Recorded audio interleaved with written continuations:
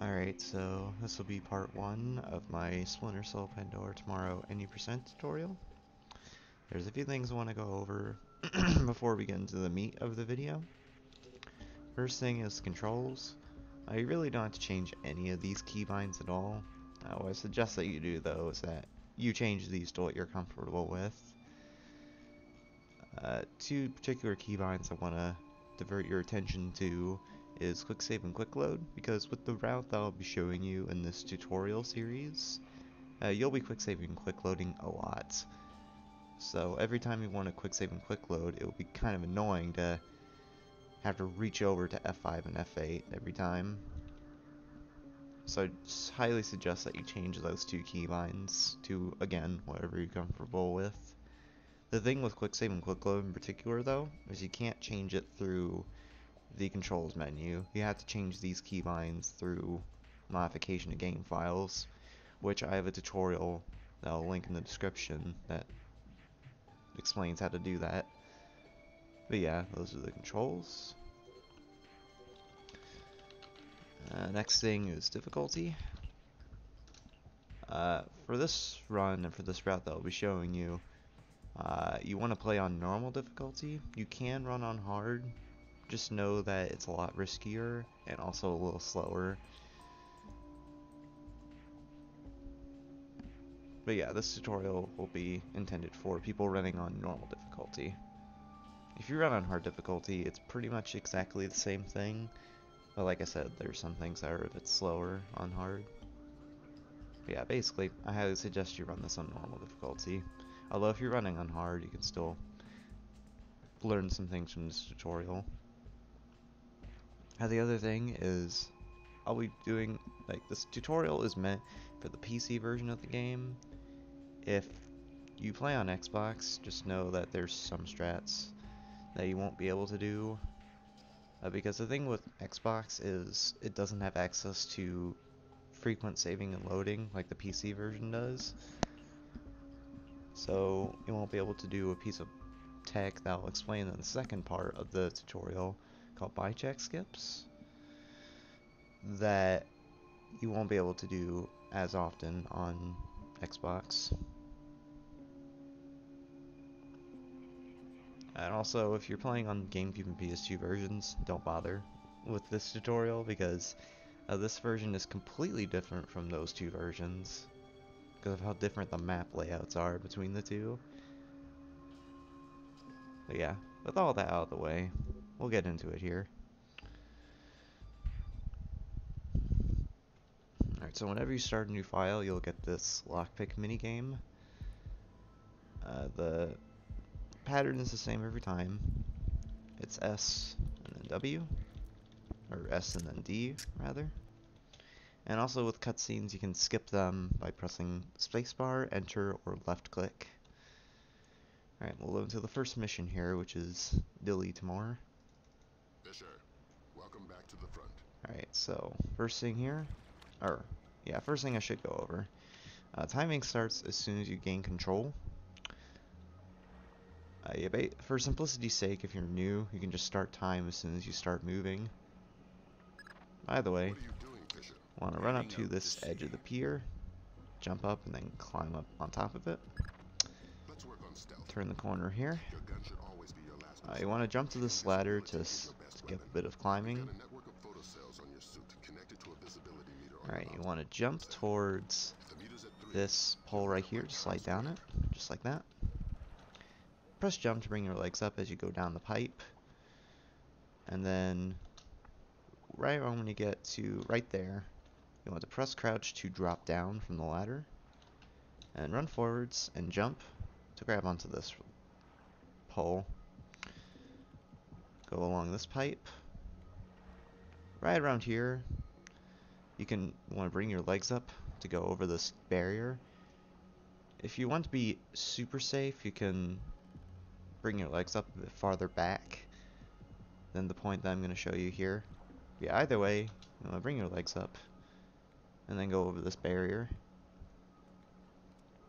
Uh, press jump once you get over the barrier to bring your legs down. Uh, cycle through your inventory. In my case, it's the tab key. uh, to bring up the disposable pick. Once you get to the edge of that little pier there, you want to drop down from the pole. And run along here. Open the store. And over here to the store. You can just run to the door like I did right there, but there's another method you can use that I don't really suggest it, but it's the option is there if you want to go for it. Basically, you want to jump over this table, just like that, without getting a little climb animation like this right here. The cue for it is a little inconsistent from my experience. Basically, you want to jump right around where my cursor is pointed. Either way, you want to go over to the store, press your fire button to use the disposable pick to pick the lock, then open the door. Jump partway up this pole to skip a bit of climbing. Then open this hatch. As soon as Sam drops down from the hole here,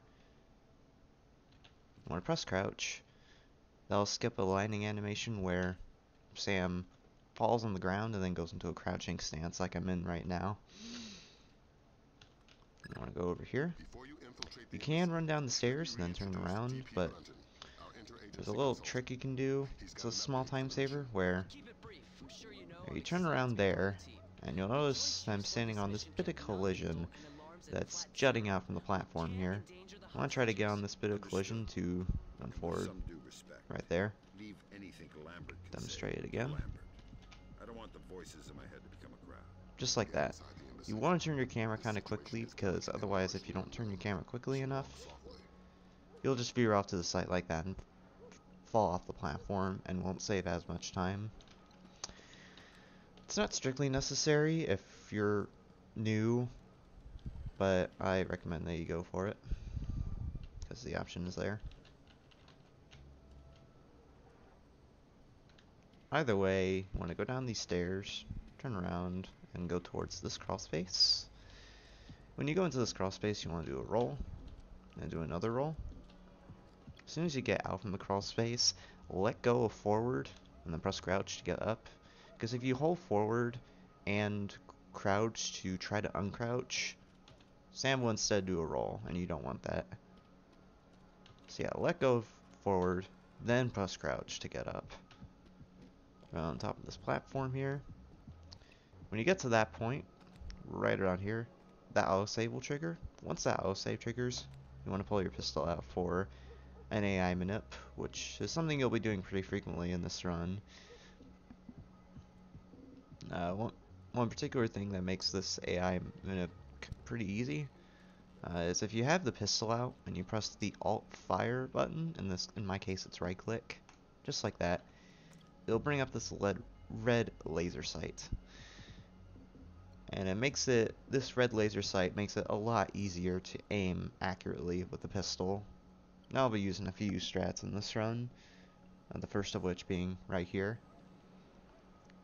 With or without the red laser sight though, uh, like I said, you want to pull out the pistol once the auto save triggers and shoot the wall. Go into this wall and get behind cover. As you move to the right here, you want to start spamming interact. In my case, it's the spacebar in order to do a SWAT turn to get past that wall. There's a couple of fields of landmines we'll have to get past here. Uh, there's a couple ways you can get past each of them. For this first one, you can just jump over it like that. Pretty easy, but it's a little hard to see where the landmines are if you don't have the thermal vision on. So if you really want to go for the jump over the landmine strat, I highly, highly suggest that you use the thermal vision. If you don't want to, though, uh, visual cue that I use for the jump for this landmine field. Uh, as you see this plank right here, you want to jump once you get to around right there where my pistol reticle is pointed. Just like that, and you'll get over the landmine field. You obviously don't want to jump too late though, or else you'll hit the landmines and die. In my case, I keep jumping too late. Yeah, that's, exactly why I use the thermal vision to get an easier visual cue for that jump. But yeah, there's that. If you find that to be a bit difficult for you, you can just roll through this crawl space.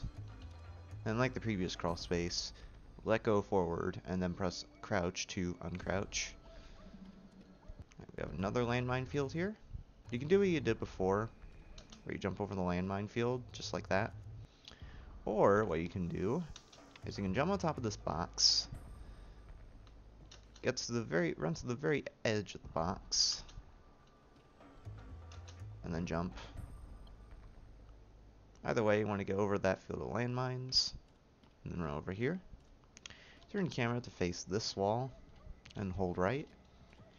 Jump twice, like that, to do a split jump. And ideally, when you do the split jump, you're facing in this direction. If you end up facing in this direction, that's fine. Just tap D, or right, to face in the proper direction. And then once you're faced towards this ledge, uh, you want to press jump to both climb up and then climb up on top of the ledge. Now once you're up here, run through here. This area is pretty linear, so it's not too hard to figure out where to go. There's a pipe you're supposed to climb down here, but just roll off the edge, and you avoid having to climb down the pipe. A little wet Then there's this little stream here. I Want to hug the left side of this stream slowly to minimize your noise level. uh, once you get until you get past that ridge, because if you don't do that, then the guard will see the guard will see you and pull an alarm on you, and you don't want to get an alarm pulled on you because now with this mission in particular, if you get any alarms at all, you'll fail the mission. So you want to be kind of wary of that as you go through here. But yeah. Next thing is we have to knock out this guard to get to that pipe over there. There's a couple of ways you can go about doing that. The first method that I'll show you is really easy and really safe. Basically, you just want to go in a crouching stance like this, and then sneak up to this Got guy. my way, How flexible is my zero fatality mandate? Valum, you there? Got some light? Just like that. Really easy and not too hard to get down. The other method you can use... Oh, let's go through this section again since I forgot to make a quick save. Whoopsie. These things happen. Don't worry about it. Minor technical difficulty on my part. There we go. I'll just quick save quick load past this dialogue. Okay, so the other method you can use, and it's the method that I use in my runs, and I believe Kirchu does in his runs as well, is you run up to the sky and jump three times. Let's be sure that you don't get that little animation I just got where Sam gets stuck in place and doesn't go anywhere. I want to jump three times just like this. If I can get it, that is. And then knock him out. If you're too, the reason getting a stumble animation is bad there, is if you're too slow going up to him with that other method I just showed you, uh, you will get seen by the guard, get an alarm pulled on you, and you'll fail the mission. Yeah, jump three times. a man in my way, Lambert. Valum, you there? Either way, you wanna. One Valum, second. you hear me?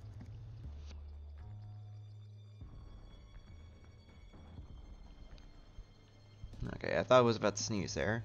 Ignore that. Anyway, uh, either way, you want to run up to this guard and knock him out.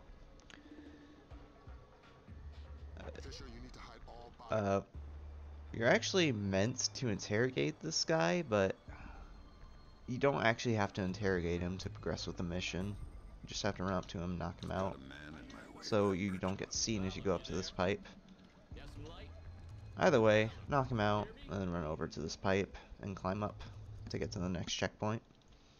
A kind of visual cue I use for splitting on each checkpoint is I wait until the there a load splash screen for the loading screen appears. As soon as that appears or starts fading in, I press the split key. And that's what I do for each checkpoint. Douglas. Shetland's your objective. Alright, so now we're coming up to probably the hardest part of this mission, which is the Sadono section. Uh, there's an antagonist in the game named Sadono, and what usually happens in this bit is he kills a hostage, and you have to wait until he kills that hostage to progress. There's two methods you can use for going through this area fast. First, I'll show you the intended method, and then which is easier and really safe and consistent. And then I'll show you the other method, which is harder and not not something I really recommend going for if you're a beginner, but the option is there once you get a bit better at the game. Either way, you want to go up to this ladder and jump up both of them to save a bit of time. Make a quick save there in case you've messed something up along the way. And like I said, first I'm going to show you the intended method, uh, which is go up to here, get behind cover, and sneak along this wall until you get past that windowsill. Move along here, get behind cover again. But why me? Go over here to initiate this dialogue to initiate this dialogue sequence between Sadono and the hostage. Just Pandora tomorrow, and then a lot of gibberish. Ah, I couldn't understand any of it. give me a buzz. I thank you. Thank you. Alright. Once Sadono kills the hostage, you can hold right and then interact to do a SWAT turn. separated from the others. Get out from cover. Move along this wall here. Be sure to hug the wall so you don't get seen by the guards there. Interact with this pipe to climb up it. Be sure to not move too far out though, otherwise you'll fall in the fire. Move along the sledge until you get past those wooden or bamboo pegs right there, and drop down. And open this window to get in this room where Shetland and his interrogator are. So that's the that's the casual method or intended method for doing that. Now I'll show you the speedrun method for going through there. It was a hostage situation. Indonesia. Yeah, but, but. Shetland's your objective. Just quick saying, quick loading past that dialogue so it isn't a distraction. Alright, so here's the speedrunning method. First, you want to do a roll as you land. And as you do the as you land, you want to do a really wide turn to get past that windowsill. Rather, land, do a wide turn by holding W and D until you get to right here. And roll into this windowsill. You don't want to hug the windowsill too close because otherwise this will happen. You'll get stuck on this bit of invisible geometry that sticks out from the window. Yeah, take a really wide turn, do a roll into this window. Then you want to jump along here. You want to not stop jumping, otherwise you'll get caught by the guards and fail the mission. And that's the hard part, is not getting that stumble animation. The general rule for avoiding the stumbling animation is if you touch jump, if you press jump as soon as you touch the ground, you won't get that stumble animation.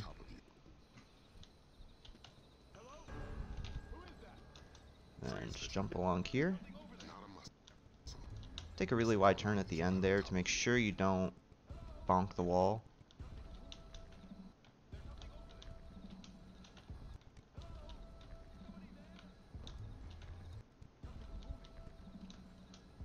And then jump towards this part right here. Generally what I do to aim for it is I try to aim towards the rightmost part of the windowsill. And that should get you on top of the ledge. If you're having trouble jumping towards the ledge, you can just do what I showed you before, where you climb up a pipe like this, move to the right once you get to the top here, and then drop down. It's a pretty tough skip, but you should be able to get it with practice. It's pretty simple in concept as well. You just want to jump along the balcony like I showed you just a bit ago. It's kind of like bunny hopping where you just, like I said, you want to tap jump as soon as you touch the ground. I'll show it again in how I would usually go in a run in a fast manner. You're here for information, and especially the information held by Douglas. Freeze Fisher. Also, for precise skips like this, I highly recommend uh, watching my inputs to see what I do, Objective. We need to know so you can get a better idea of how to do it.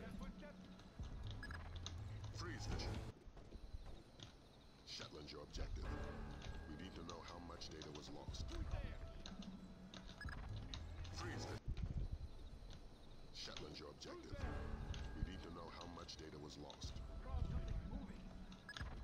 Freeze Fisher. So yeah, either way, when I get to the sledge here, you can't open this window to get in. He sees you. What I recommend you do Uh, there's a rather there's a method you can use to save a bit of time compared to opening that window, just to run to this balcony right here. There's a few methods you can use to get to this, or rather, there's a visual cue you can use to get onto this balcony.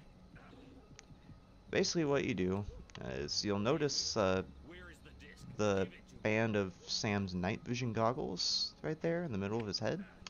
You want to line that up with the start up the wall there next to the balcony. Line it up like so. Run forward and hold left. Or rather, run forward. And once you get onto the balcony, turn the camera left. You'll land on the balcony. Pretty easy to line up. Shouldn't take too much time to get used to. If you're having trouble with that though, you can just open the window like I showed you. Either way, you want to get into this room, run over to this interrogator right here and knock him out. Run into Shetland here right after you knock the guard out. Hold the interact key to bring up this menu and then press up once or W once to get to this talk to option. That'll start the conversation with Shetland here as soon as possible. Douglas. And it's important that you do that quickly because otherwise uh, Shetland can get teleported to a position where he can't advance the conversation. You're on damage control. Thank God. I was keep guessing. I tried. No.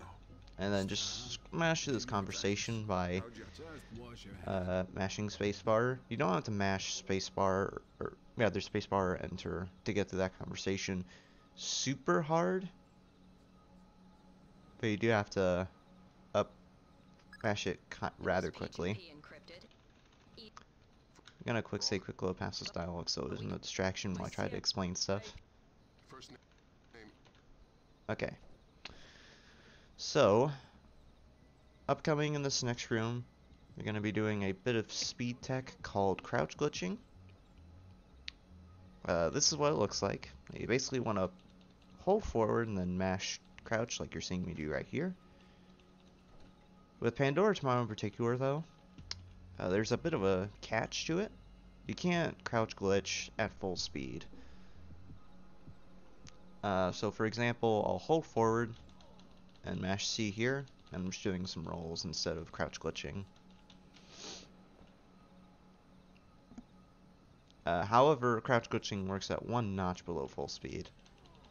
So you'll see there I was mashing crouch and I do a crouch glitch while I was at full speed. But I'll move the movement speed to one notch of the scroll wheel below full speed. You'll notice that I can crouch glitch managing that well and the speed is part of the movement in the speed run, but don't worry about it too much uh, when you're new. And I'll show, I'll, like, I'll show you points where you can, where you can change the movement speed with the scroll wheel beforehand, just so you don't have to change it on the fly. Anyways, once you're done with that conversation with Shetland, run over to the store and then scroll wheel down once to get your movement speed to one notch below full speed. Open the door. There's this guard on the balcony next to me, right there. You want to crouch glitch past him like this. And once you get to these sets of pillars right here, you can get up and start running. As you go down here, you want to hug the right wall going down the stairs, like so. So this guard right here does not see you. And then there's a couple of approaches you can use to get through this area. Few, and there's a few methods that I'll show you. First up, first thing you can do is go up to this guard and knock him out. Uh, shoot this wall to distract the guard, or didn't work. So what you're meant to do, I failed there, uh, is you shoot that wall to distract that guard over there. After you knock this guard out right there, then you go behind cover on that cabinet there, and let's do a SWAT turn to that couch right there, and then run through this area. But I ended up messing it up, so I can't show you what it looks like, unfortunately. So I'll just have to show you the fast method for going through here, uh, which entails running through this gap right here and just hugging the right, like hugging the left wall here so the guards don't have as good of a chance to shoot you. And then just run through this area.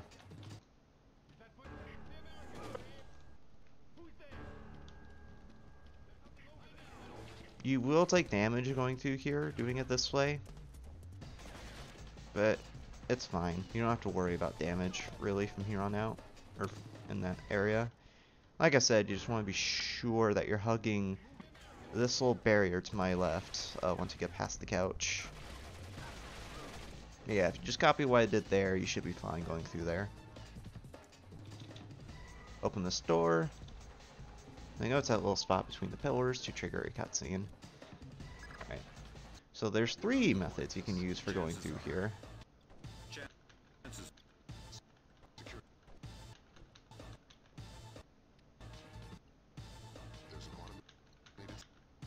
Again, I'm gonna quick say quick load past the dialogue so it isn't a distraction. Alright, so there's a few methods you can use for going through here. Which I have to be kind of quick about doing in order to not get killed. Uh, you know, I'll just kill these guards as a precaution. Why not? Or not kill them and knock them out.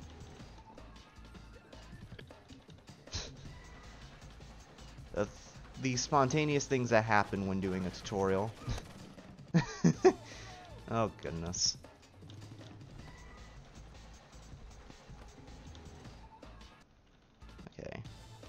Where's this other guy?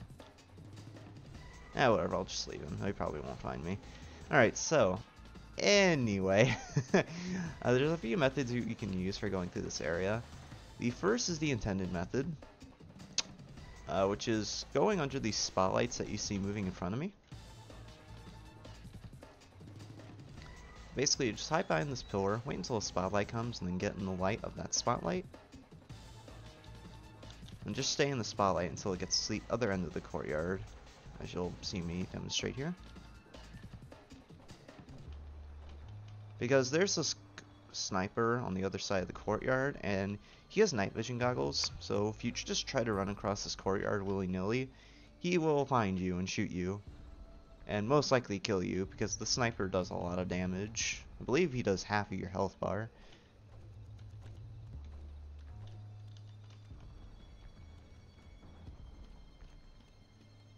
So yeah, that's the casual method for going through that courtyard. What you can also do is uh, bring your bring out your pistol, press the alt fire to get bring out the red laser sight, and then uh, shoot at the wall to distract the guard, and then just run across the courtyard. And once you get to the end here, jump to these pipes, climb up, and then drop down. And then go over here to start this start a conversation with Ingrid in the room there. Another method you can use, uh, which I can't show here because I'm not at full health, uh, is there's this turret right here on the other side of this corridor. What you can do if you have full health is you can run through this hallway, tank the damage from the turret, and then get to the other end of the hallway that way. It's not as big of a time saver as the other method that I showed you where you distract the sniper with the pistol shot because you have to go through a bit more of the map but the option is there if you find the sniper distraction to be a little tricky because the shot for beginners to distract the sniper can be kind of precise yeah anyways to kind of help with the aim for the sniper distraction you basically want to aim your reticle to about where it is right now, which isn't too precise. Bring out the red laser sight and then shoot.